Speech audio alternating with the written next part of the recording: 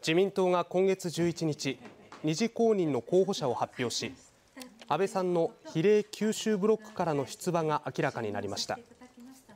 安倍さんは2005年に岡山3区から出馬し比例中国ブロックの復活で初当選。2021年の前回も比例での復活当選を果たしていて現在6期目です。今月発足した新内閣では文部科学大臣に就任しました。安倍さんは事務所などは残しながら今後も岡山に拠点を置き続けたいとしていますが自民党岡山県連の所属ではなくなるということです。自民党岡山県連の小野康弘幹事長は新天地九州で勝利し文部科学大臣として頑張ってほしいと話しています